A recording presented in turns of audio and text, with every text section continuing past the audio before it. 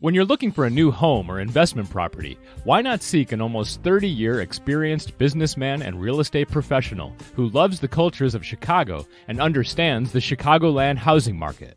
When you choose Ford Desired Real Estate LLC, LaShawn K. Ford will answer all your questions about securing a mortgage and providing valuable information for your purchase. LaShawn's house hunting kit includes a detailed summary of area schools, nearby amenities, and testimonials from homeowners who live in your neighborhood of choice. LaShawn knows this city better than anyone and can expertly consult you on property values. He'll take the pulse of your prospective community by highlighting neighborhood activities and notable facts. To list your property or to start looking for your next investment property, call LaShawn at 773 379 4663. That's Ford Desired Real Estate LLC at 773 379 4663.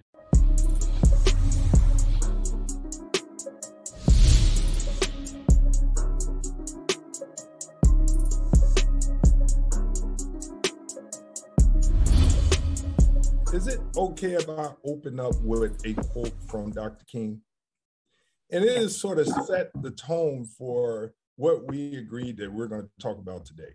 And Dr. King said, I have a dream that my four little children will one day live in a nation where they will not be judged by the color of their skin, but by the content of their character. I mean, mm.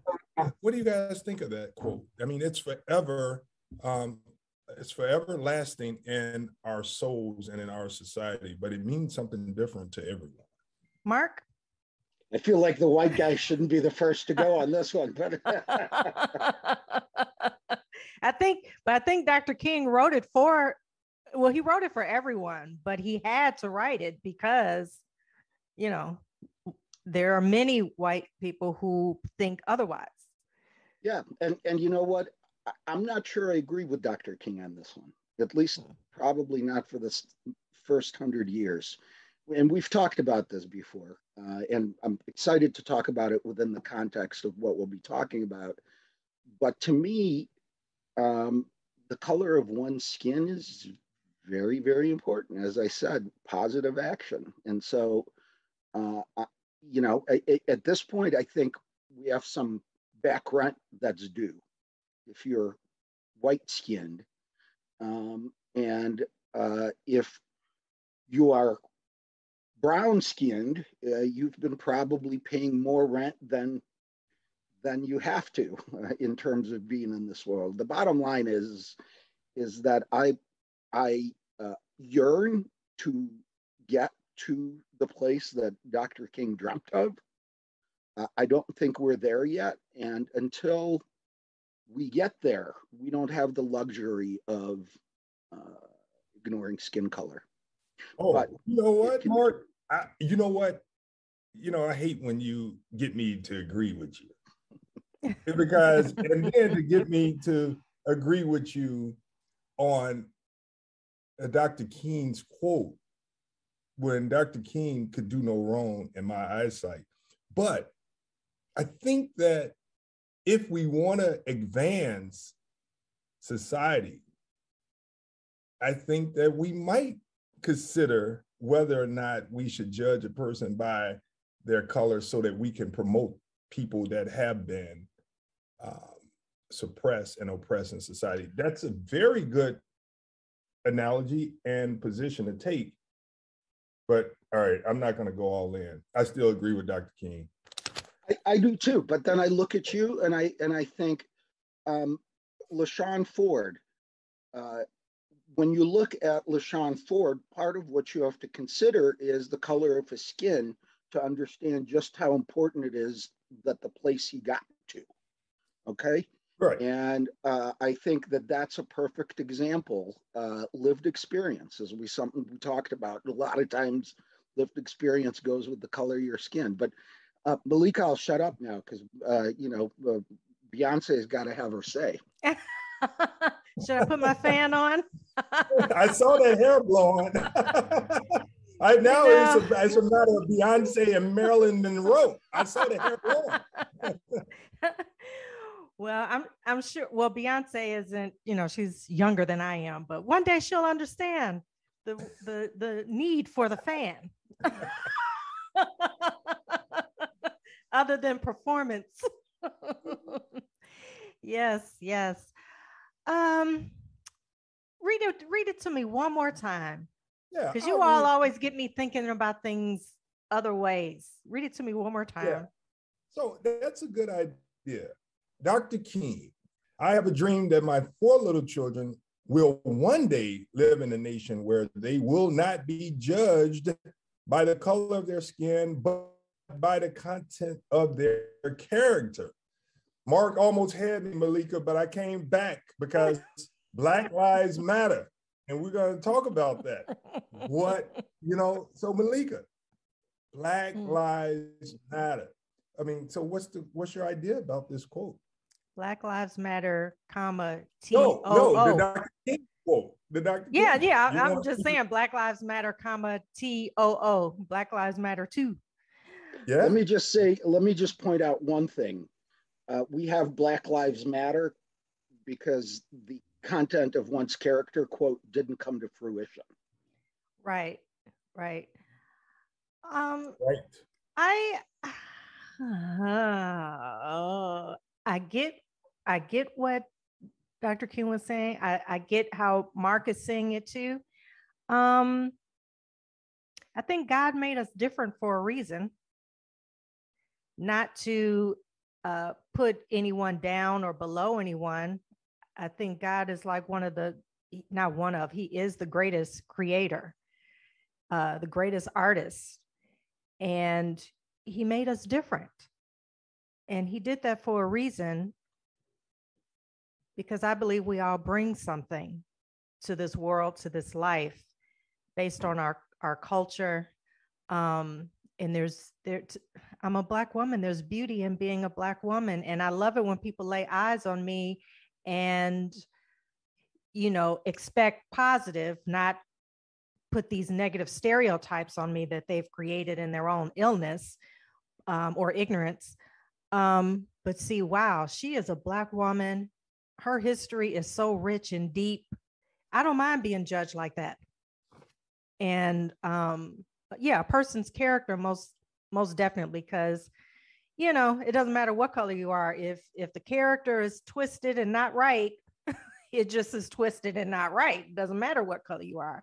But um he made us god made us different for for a reason and and i would hate for people not to see that beauty up front and just ignore it you know when people say they don't see color i'm like oh what a horrible way to live Yeah. But I, I believe, I believe, I believe uh, in color blindness as a medical condition, but not as a social construct. right exactly. Right. And that's what Dr. King um, you know, I don't know. You know, I think Dr. King, his his quote lives on today because we today have to also worry about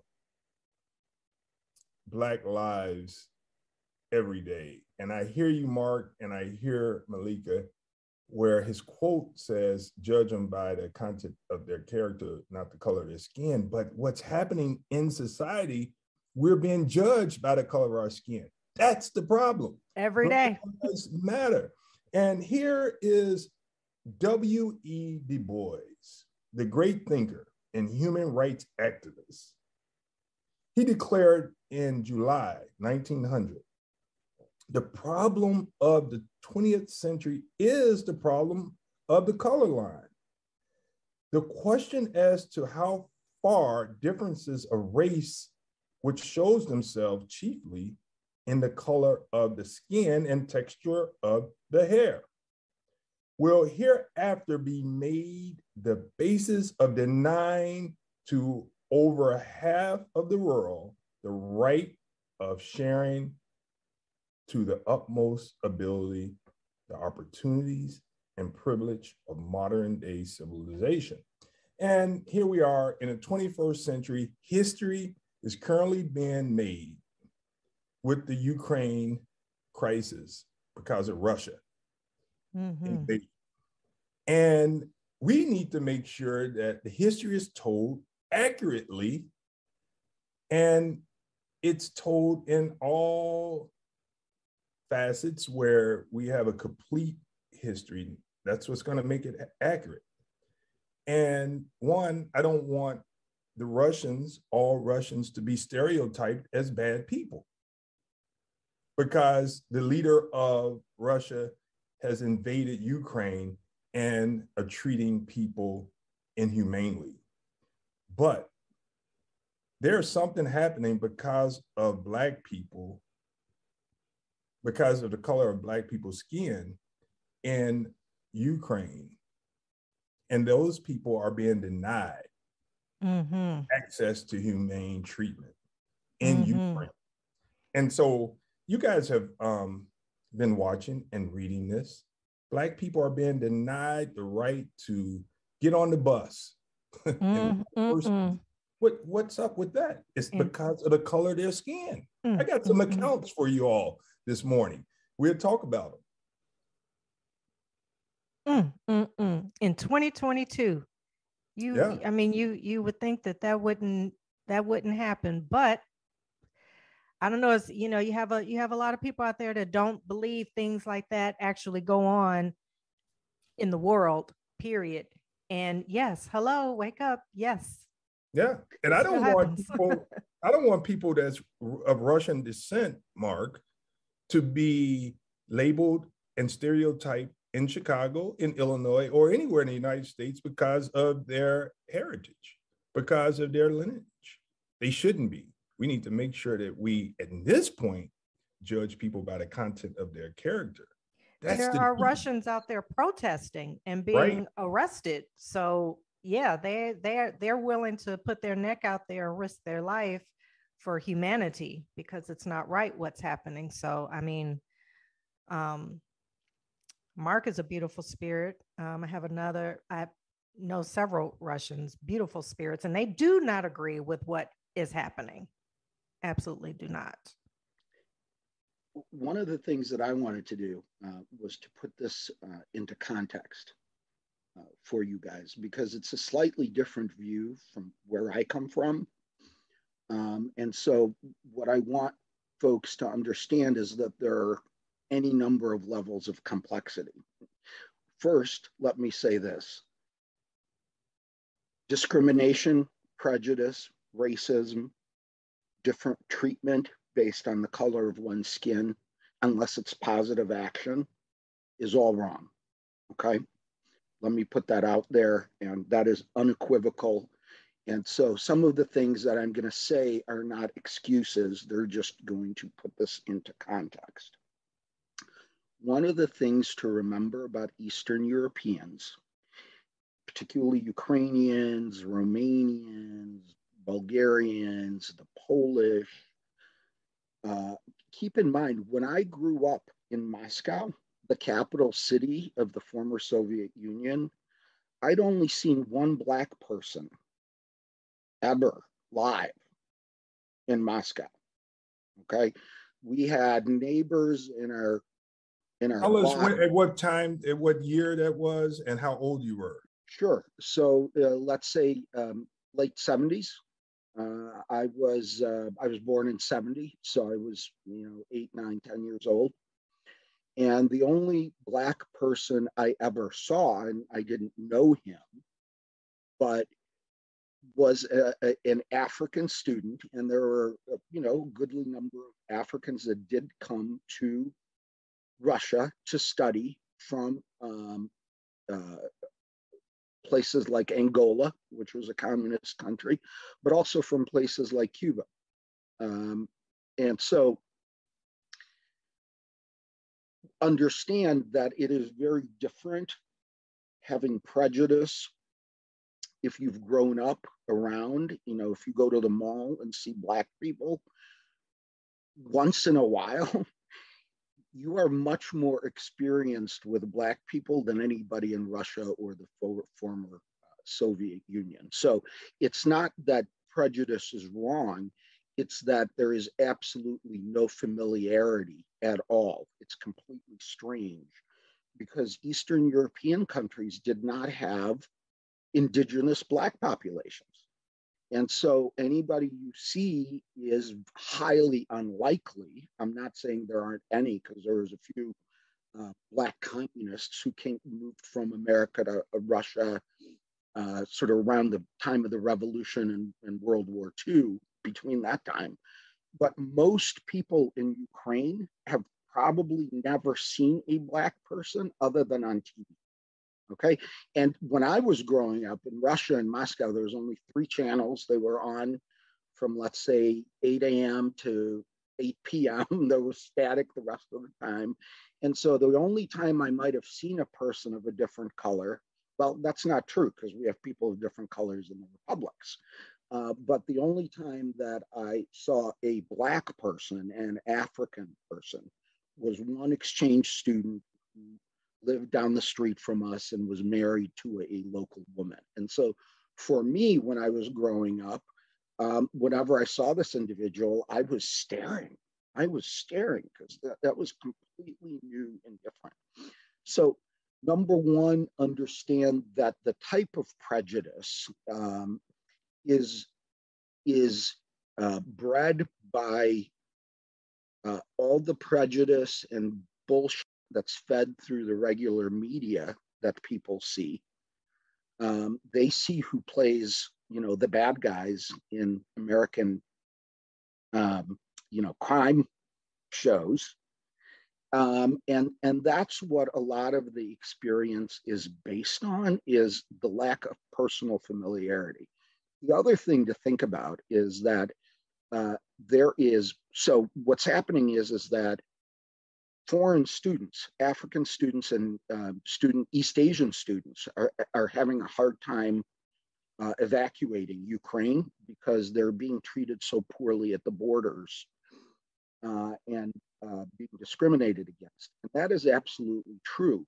One of the things to keep in mind, though, is that it is the same kind of discrimination that we have here that may be based on passport and not only color of the skin. Okay.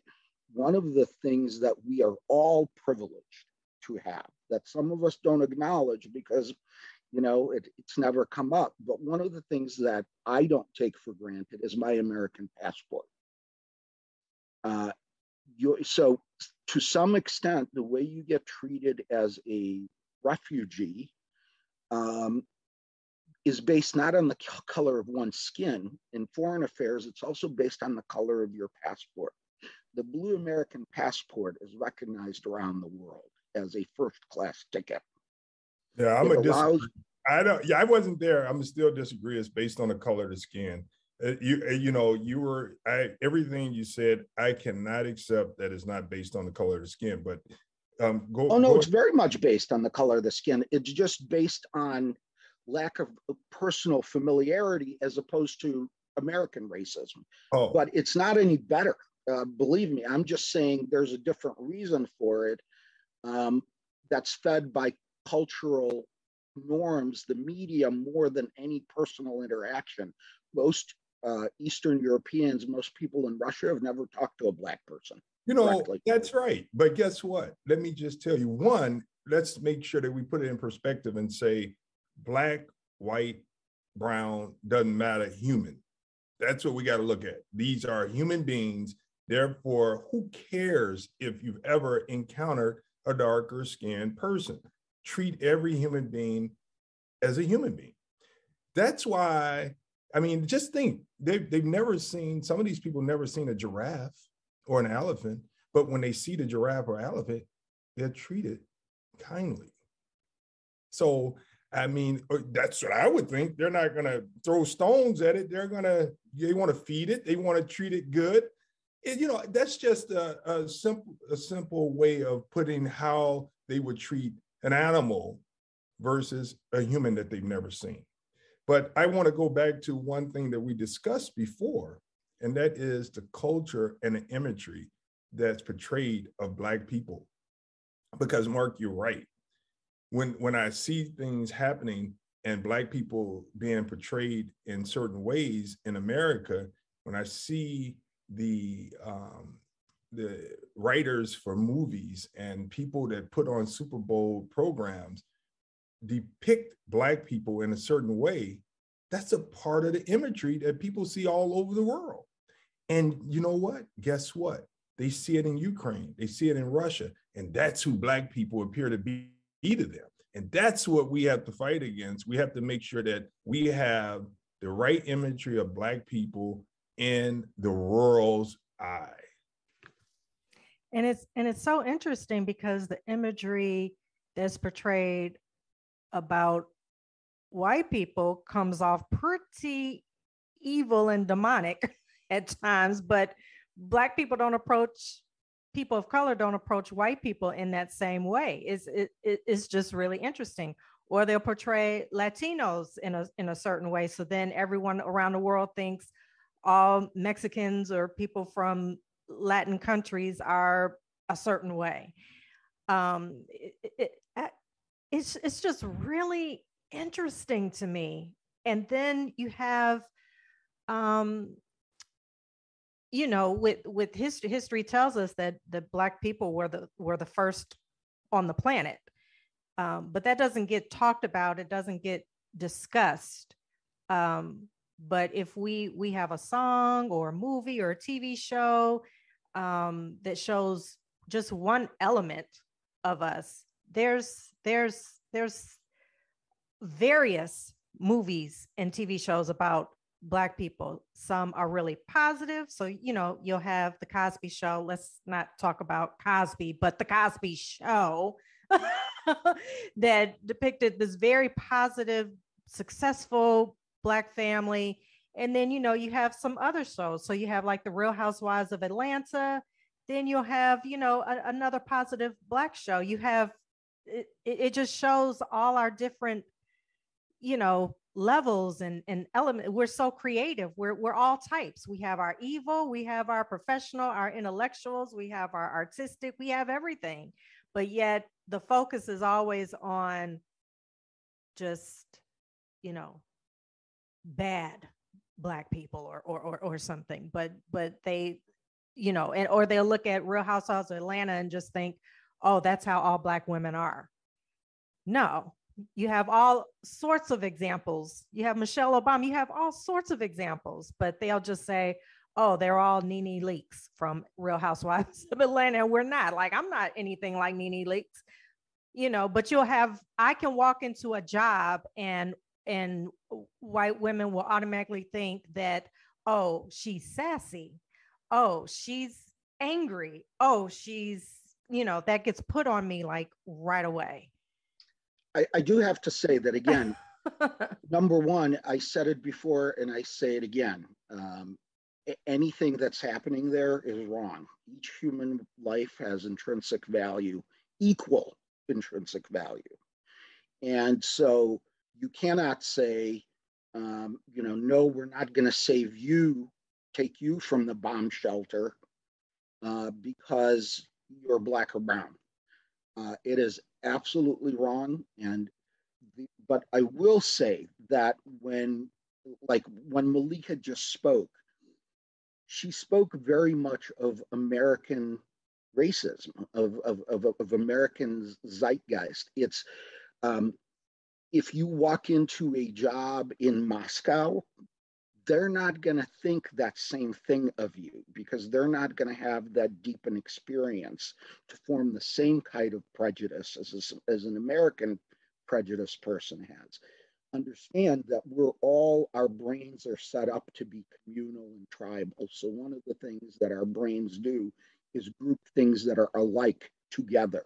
That we know from psychology, psychiatry, biology because we needed to early on in our evolution identify foe versus friend and anything that is most similar to us was identified almost at a biological level as friend versus somebody that something that didn't look like us being identified so again people make these groupings and it is very unfortunate. The only thing that i can say is that I would distinguish the prejudice and racism in America. Um, I would say uh, prejudice and racism is based on familiarity or perceived familiarity. Whereas in Eastern Europe, the prejudice and racism is based on complete lack of familiarity and strangeness in it. So you're not you know again if you're looking at an african you're not even distinguishing that they're african or african american because i think that representative the, the experiences you've mentioned have mostly been around foreign students in ukraine. Um, and so i think an, an african american with an american passport would get treated differently in that situation than an African exchange student. You may and be again, right. I, I am not saying it's any of it is good or acceptable or excusable. I'm just saying that these are totally different kinds of racism. One based on perceived familiarity, and one based on complete lack of familiarity.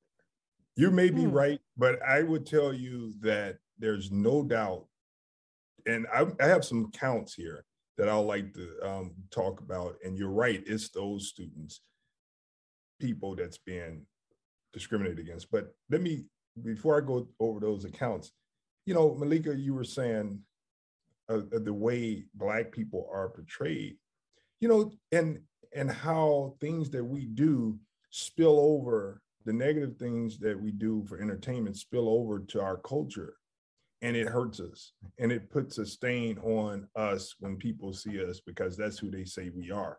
You think about acid music, You're doing drugs on the stage, doing, but that's never associated with the culture of white people. Right. It's entertainment. But we, right. black people, just don't have the luxury in America to have entertainment not impact our culture. Yeah, why? And we we need to have another discussion about that as to why that is. I mean, because based on what we see in entertainment, when we see a white person, we should think that they're serial killers. They do acid. They do meth. Um, they worship the devil. I mean, all sorts of horrible, demonic, evil things. Um, but we don't. Look, we, right we do judge we do judge them by their character, and when they act a fool, then we respond. Right, right here in Chicago, right here in Chicago, you have the home of guess who? Who who is the gangster guy um, from Chicago? Al Capone. Al Capone. That didn't spill over and say that white people are gangsters. How did that but but but it did spill over into people saying and having a lot of prejudice around Italian Americans. Ah, okay. Mm. Okay. So again, this is just to say part of, you know, Italian Americans are enraged when the Columbus statue uh, gets removed from the park because they see that as an insult to their heritage. And, uh, you know, um, uh, it's all of a sudden somebody's ah oh, they're, they're just acting like mobsters or you know so uh, there is there is um, uh, I you know the I often say because I'm Jewish my wife is um, I'm wife my wife is Catholic so I often say Jews invented guilt Catholics perfected it uh, and, and um, how did you all come together Love brings people together. An interesting story. Um, they didn't uh, judge each other. They went off the their character and fell in love. Well, uh, or was it arranged? not initially. It was very much a judgment, and it was harsh. Uh, but, in any case, uh, I, I, guess I, I, will just say that all of us harbor some prejudice. Okay? That's right. And uh, and uh, by the way, you know, you mentioned genres of music, uh, acid rock being one, and sort of headbangers and headbangers. all that's been associated with that. And you know, I, I, will tell you, I'm probably more prejudiced against people like that than I am in any notable way have prejudice in race, right? So it's not like prejudice in and of itself is not the same as racism necessarily. So I'm very unlikely to assume that I'm going to hang out with country music stars. Mm-hmm. Okay. If you give me the option, I'm much more likely to gravitate to the hip hop stars. Right. If those are my two options. And uh, that's a form, uh, you know, I, I just know that the country music folks aren't my crowd. So I, I like country music and and that's great but again this is just to make the point we make all sorts of groupings and classifications in our head and all of us have different likes and dislikes and i just think that we need to distinguish for people sometimes those that are natural and okay and those that have been manufactured yeah and encouraged okay because yeah. none of this happens completely in a vacuum mm-hmm. uh, and and so a lot of you know there are differences between myself and trump voters okay um, but that doesn't mean uh, that i'm going to you know deny somebody being saved from a bomb shelter because they voted for trump uh, although i'm not necessarily likely to hang out with somebody who voted for Trump. And so I'm just saying that to, you know, to, to my wife and myself, we look at a Trump voter and in some ways we're prejudiced. We judge. How could yeah. you do that? So I think all sorts of discrimination and and and racism exist, um, and not all are based on the same factors. That said, none of them are right. That's right. Yeah. And let me go back to the Italians. Okay, let me let, can I just say something about Trump yep. voters? That speaks yep. that does speak to character. Okay, I'm done. well, come on now, uh, Hillary Clinton calling them all a basket of deplorables. Um, you know, not all Trump supporters are um, deplorable, are they? That we we'll just um, leave that there. Um, but Hillary said that, you know, she said that they're a basket of deplorables. But, you know, let's go back to the Italians and their statute. I support protests and I support people fighting for what they believe in. So the Italians put to deal with that statute, I support their fight. Now, I don't know whether or not everyone feels that way, but I respect everyone's willingness to fight for what they believe in. Now, if if it's bad for humanity, then we got to shut it down.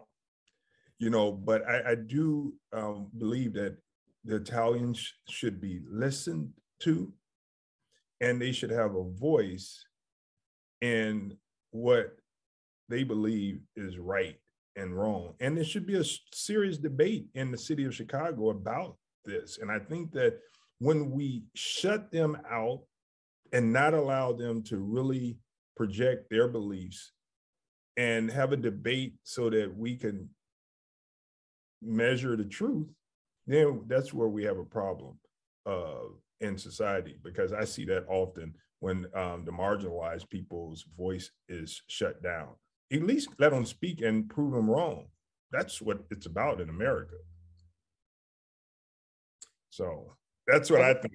I have a question, but I think Meleika was unmuting, so I'll save it for a minute. Oh no, I was actually waiting to hear what what you were going to respond to. Um, I, I, think that's a tough situation with the um, just as an example with the Italians and the statue.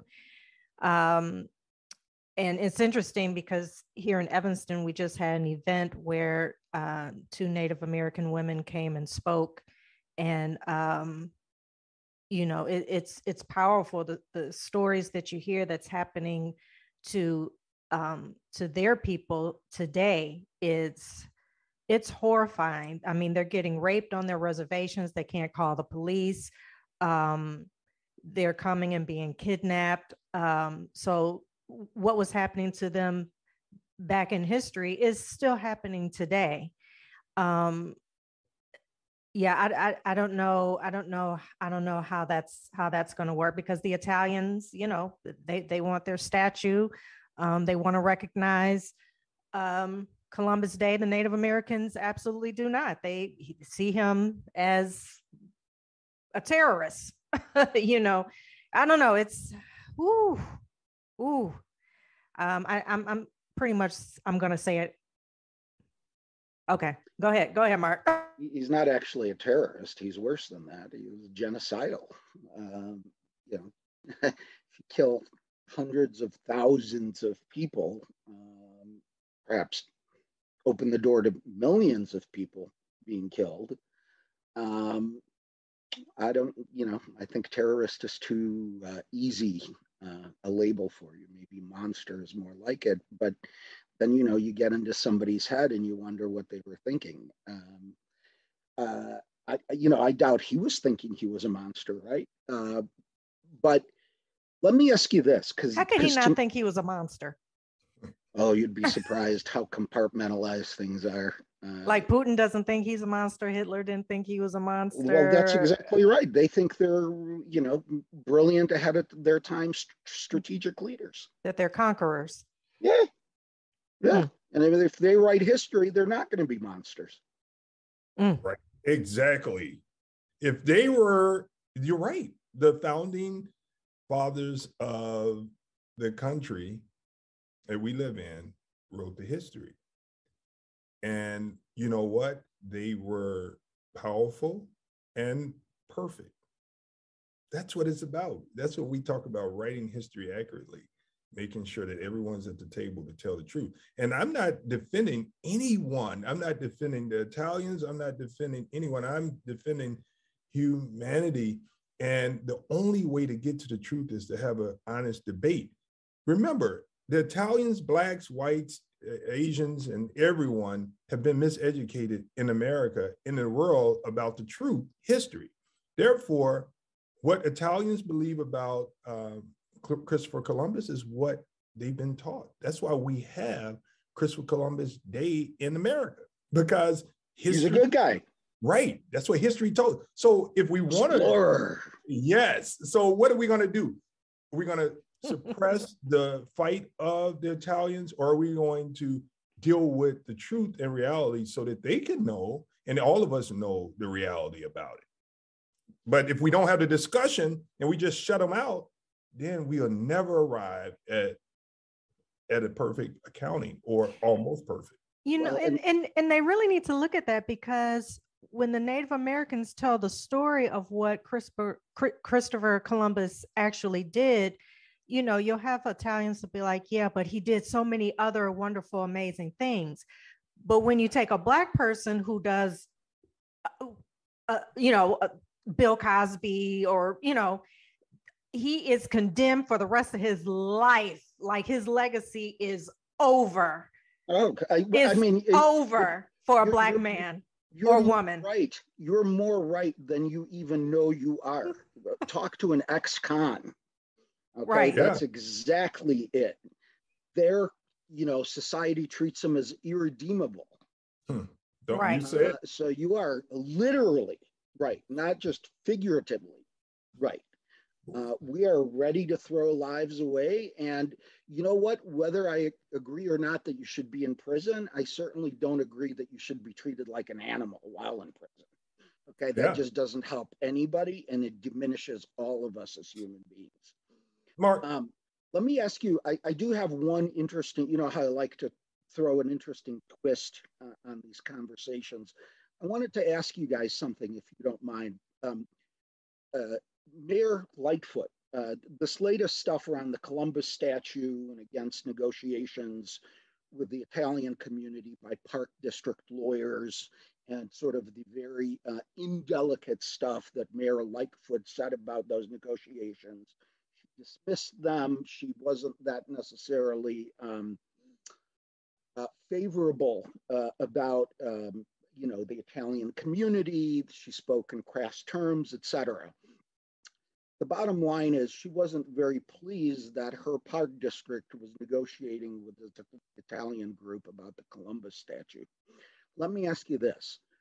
Do you think Mayor Lightfoot would have been equally as dismissive and impatient with these folks had they been negotiating with uh, an African American group uh, rather than a Italian group? Do you think she would have been equally as dismissive and angry at her team that they tried to find a solution? Mm. It's a very good question. And all I could tell you, Mark, is that I hope that the mayor has what you call a North Star and she's consistent in her fight to make sure that she's fighting for everybody at the same level. And also that she um, has positive action, as you would say, for situations.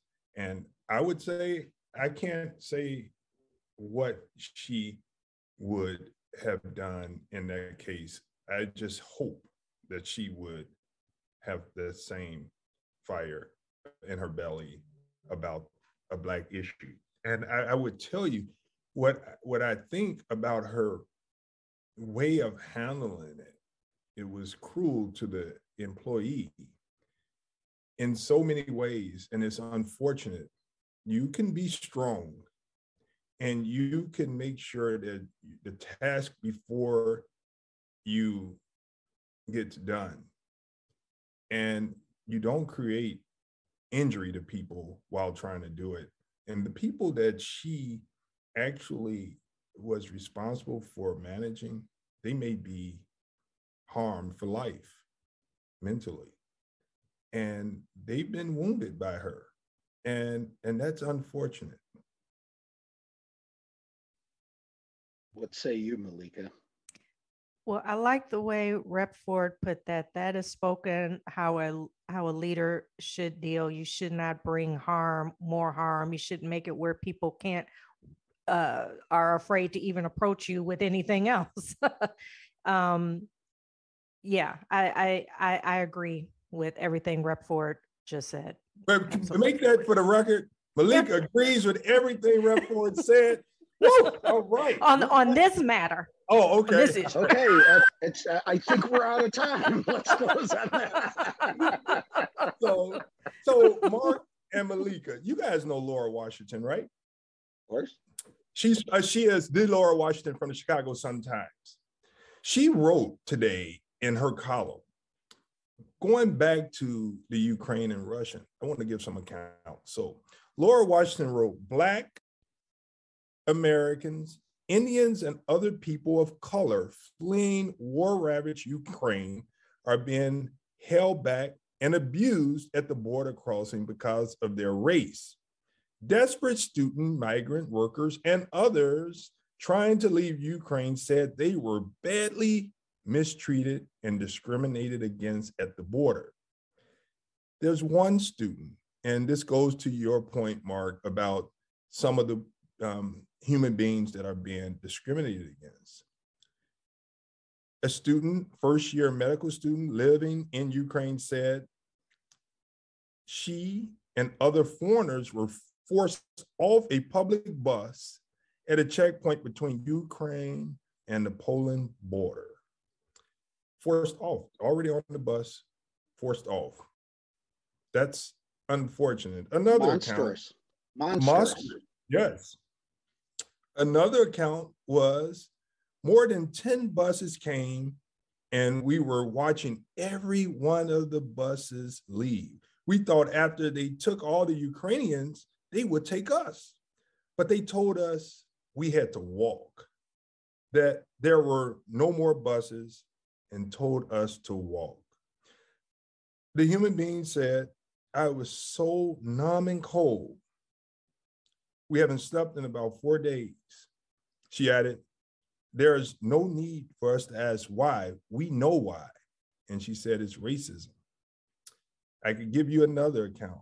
Another doctor who lives in Western Ukraine said she spent more than two days stranded at the Poland Ukraine border crossing.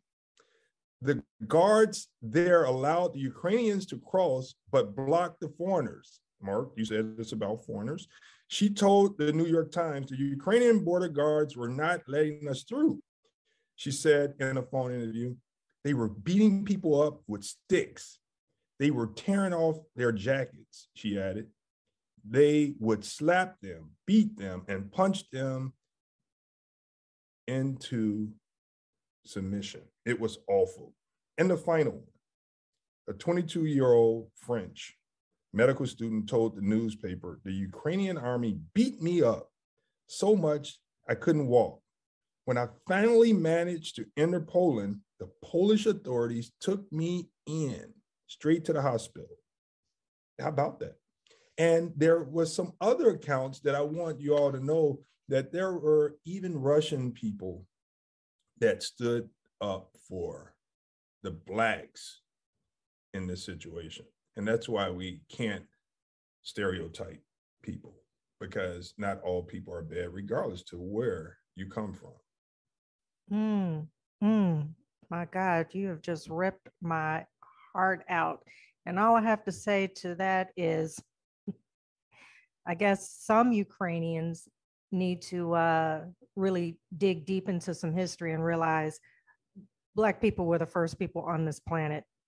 And that's all I'm going to say. Yeah. Some Americans need that same thing too. Yeah. And, and you know, I say that when you are in Ukraine and you are expecting at the same time to be treated fairly and to be treated humanely. But then you treat people that's dark skinned inhumanely. I don't know how you can explain. Well, I mean, look, th- this is what Putin refers to when he says denazification, because you know traditionally uh, there was a lot of prejudice, uh, you know, anti-Semitism in, in in Ukraine. Can you explain that? I, you said a word. What what did you say? denazification, Putin. So that means he wants to get rid of all the Nazis in Ukraine. You know, the, the Russians claim that Ukraine is being run by neo Nazis. And that's part of why they are going in there to sort of finish the job that they didn't finish during World War II, ridding the world of Nazis. Mm. And that comes from the fact that um, uh, white ethnic groups like Belarusians and Ukrainians had a, you know, they had battalions that uh, served with the Nazis to, you know, help load up Jews on trains to go get, be gassed at Auschwitz. Um, so there is a long, long history uh, in, you know, in that white Eastern European, Belarusian, Ukrainian, Polish, um, there, you know, there was a lot, of, there was a significant history of collaboration with Nazis to rid their countries of Jews and to take over Jewish property and to move into Jewish homes and to, you know, plunder Jewish businesses.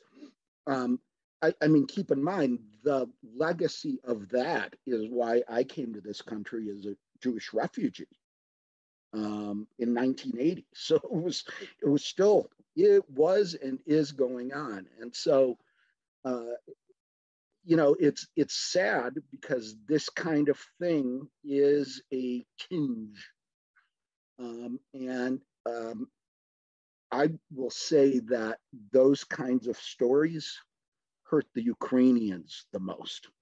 Okay, that yeah. is who's hurt the most because as I get up from this conversation, at least for the next little bit, I'm discouraged, I'm drained, I'm sad, I'm angry, I'm embarrassed. And that is occupying the place in my brain where empathy Absolutely, Mark. That's right. You know, and I appreciate you saying that. And, you know, and this is a perfect example why when people don't understand and Mark, I know you got something to say about this because we talked about it. This is an example of why we have to say Black Lives Matter. You know, this is why we can't say blank, blank matters, blank, blank matters. This is why we have to say Black Lives Matter because no matter where you go in the world, you see this happening to Black people color of their skin, not the content of their character. Yes. Yeah. And so I tell you, the message also is to my Black people. We have to matter to ourselves too. And you know, the killing that's happening in Chicago, I'll speak to that the most because it's happening all over the country.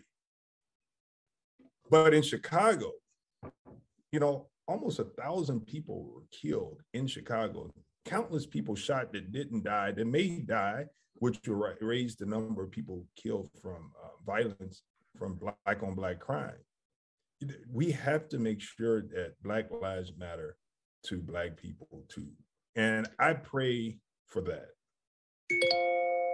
Let me mm-hmm. let, let me just say uh, this one thing that I think that one of the things we don't say enough to gangs and gang leaders in particular, and again, even that might show some prejudice because if I say that, I, I should say, you know, um, not all gangs are black or brown, right? But in terms of the black and brown gangs, which are active uh, in the murders, uh, a lot of the murders in Chicago, one of the things I think they need to be constantly reminded is that if they're going to be successful, they're doing the KKK's work for it.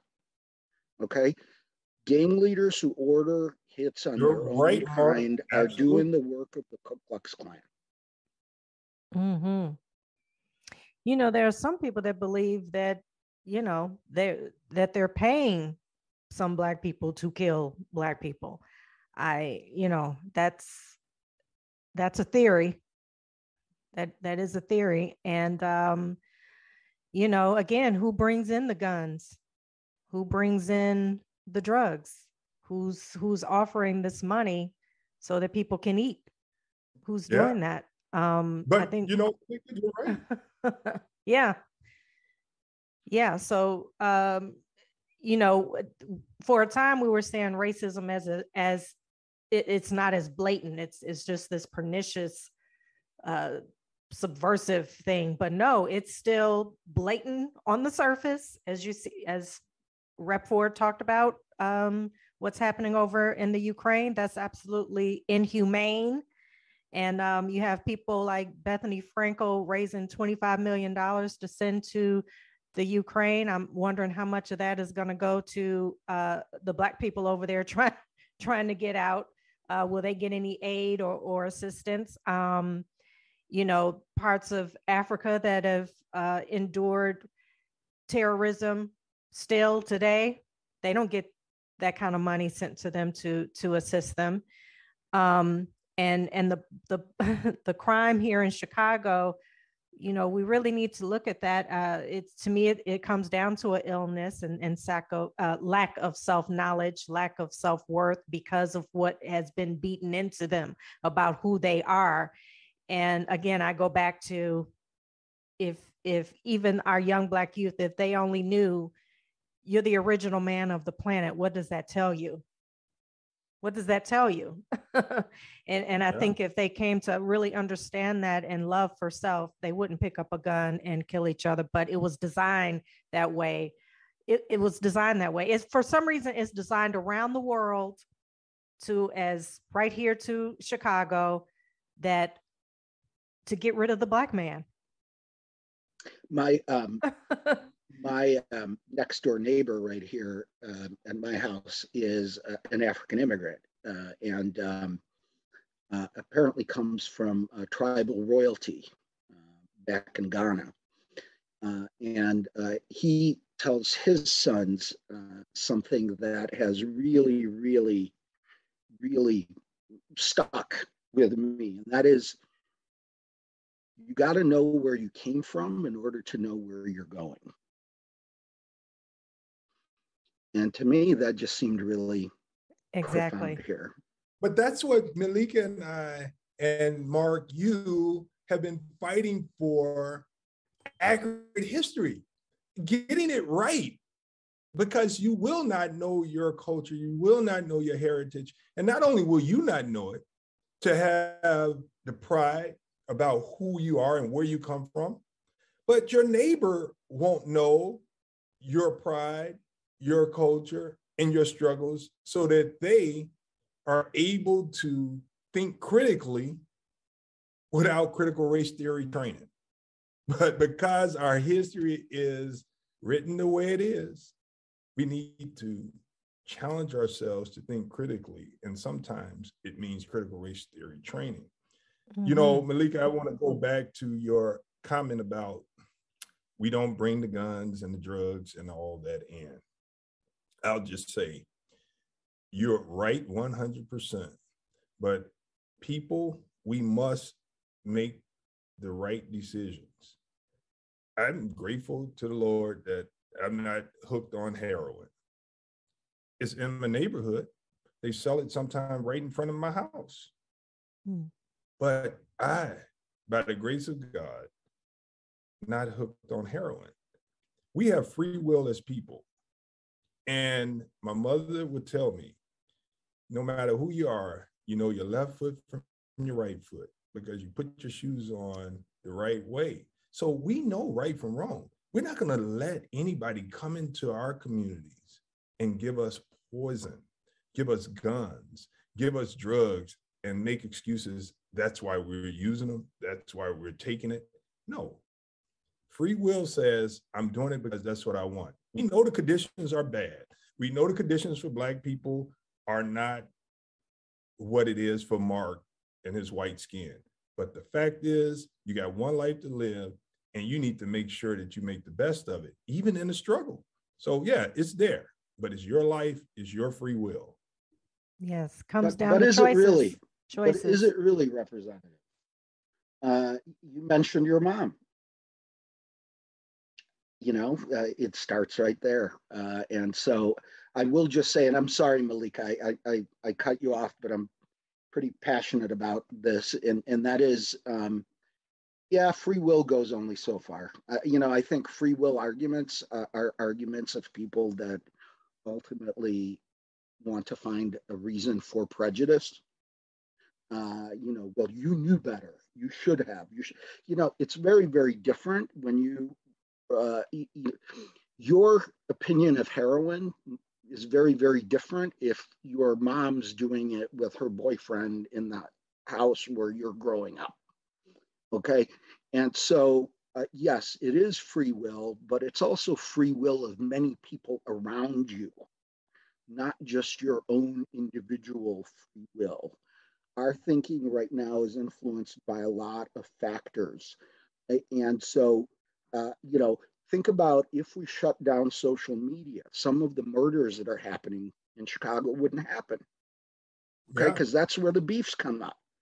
And so yeah. I just want to make sure everybody understands that free will is fine, but to the extent that free will determines the value or worth of people, that is one of a number of factors, including family, community, health, education, and most 15 year olds or 17 year olds who are going to get hooked on heroin um, you know they're not they're not there yet. I, I, don't think we can start with their free will. I mean you know we should say to all youth black youth included you know better. That's you right. should know better. Right. I agree with that. But ultimately um, that only goes so far. I agree well, 100% but and, and you have youth here in wilmette hooked on heroin i mean heroin is big here on the on the north shore um, but i don't know it seems it's it's posed differently for them it's oh they need help they're they're they're not well um, their their family situation was was bad. You don't know what just because they have some money doesn't mean that they came from a healthy environment. So they get help and and they're they're given sympathy and compassion Whereas, you know, the black youth who are making the choice to to go on heroin to numb themselves from their reality or what's happening in their home, then it's like, well, you you you should have known better. Yeah, but what yeah. what role does mental health play in free will? Right. You know what? Let me tell you though, the thing about it is, I'm not a pull yourself up by your bootstraps man. I know that society has damaged the black population and the black families. But what I want to do is make sure that I send a message that you have a life that you got to fight for, mm-hmm. despite mm-hmm. the challenges that are before you, despite the poison that they're putting in your communities, despite the fact that the educational opportunities are not equal to your counterparts. it's a struggle, but we could do it. But we can't have the mindset of losing and it's impossible because the odds are stacked against me. The odds are stacked against you, but you're a winner. You got to fight. Come out. We've seen it happen. We've seen you gotta fight. come out of poverty and the impossible because they didn't fall excuses and because they had loved ones around them you know, surrounding. Mm-hmm. I'm going to support you in your thoughts to a certain extent, Mark. The surroundings, they did have people around them to give them the strength to overcome. But there are also people that didn't have anyone around them but negative influence, but they had the desire and the will to fight to win. And that's mm-hmm. what we mm-hmm. need. And mm-hmm. so, what are we going to do? This has been another great episode of Ebony and Ivory and this thing called Beyonce. Until next time, I'm LaShawn Ford. Meleika Gardner. Mark Peysakhovich. And we'll see you guys again. Keep hope alive. Fight. Fight for your life. Fight yes. for your life. Don't be stupid. That's right.